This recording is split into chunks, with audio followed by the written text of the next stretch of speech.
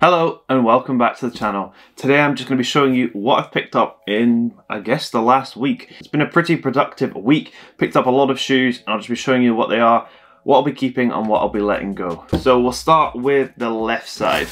Obviously, Jordan 1, can you guess which colorway it is? It is the Brotherhood. So this colorway is incredibly bold. I think it is actually a very nice summer shoot. However, I think it's a little bit too bold for me. However, I can see a lot of people pulling this off in summer. I think it's a really clean colorway.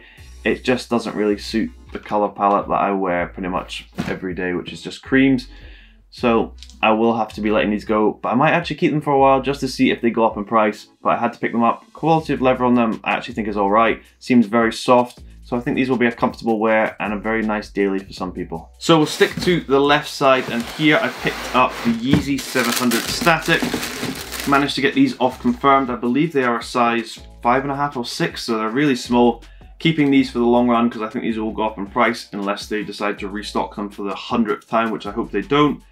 This is a really clean colorway. It came out a while ago. Seems like it's been out forever. Really nice colorway price used to be really high, but it's dropped. So if you want to pick up a pair now, I would, because these are very, very nice. They are similar to the cream version, but I think I prefer the static. I don't know, I'd have to see them side by side, but I think this one is the better version. May as well finish off the left side, as you can guess, Yeezy 500. Pick this up from the confirmed app as well. It is the Yeezy 500 Blush. Once again, in another small size, just because I expect the price on these to rise. Colorway is very, very clean indeed. I think this is an amazing shoe for summer, especially for girls. That's why I picked it up in a small size. However, there are similar colorways out there. So if you can't get a really expensive version, I guess this might be higher than other colors, just go for another one because they are incredibly similar. But Blush was the original one and it's probably my favorite of the lot. But yeah, really comfortable shoe, has no boost in it, but the sole and insole are very, very comfy. So it kind of makes up for it. But yeah, Yeezy 500 blush. Really clean, but probably still will be letting these go at some point. So actually, while filming this video, this pair actually arrived at my door. It is the Nike Vapor Waffle in the black and gum colorway. This pair is amazing. I said this pair looks very chunky on foot, but the black colorway version of it just makes it look a lot slimmer and sleeker. I really do like these and these could be a daily wear for me. And a plus point, I got these for retail, so I can't really complain. So now we start on the right side, and probably the more popular version of the shoe. However, this one is an old Sacai. So I picked this up from StockX recently because I have a comparison for it. So this is the Nike Sacai Vapor Waffle in the Villain Red colorway. I actually think this is probably the best colorway that dropped from that pack.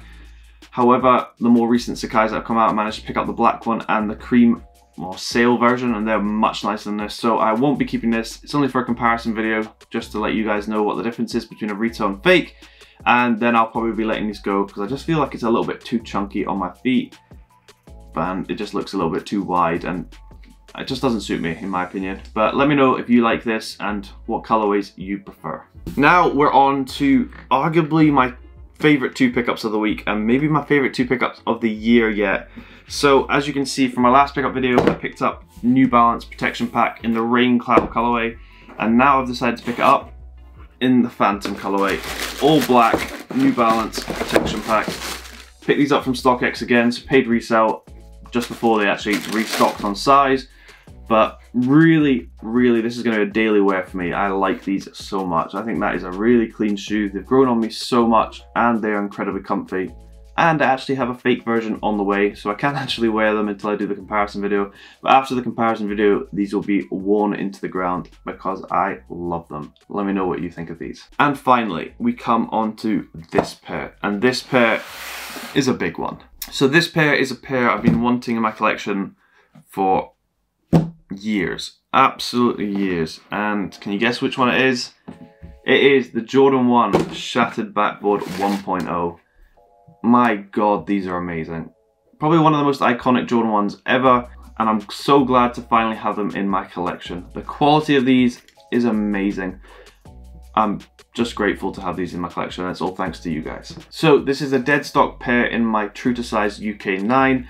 I managed to pick these up from an Australian reseller. It took so long to ship here, but Can't really complain. I finally have them in my collection and I'm super happy about it. Just check out the colors and details on these shoes because they're so, so nice. So that is everything that I've picked up over the last week. Let me know in the comments down below, do you like the pickups? Which one you would you be keeping? Which one would you be letting go?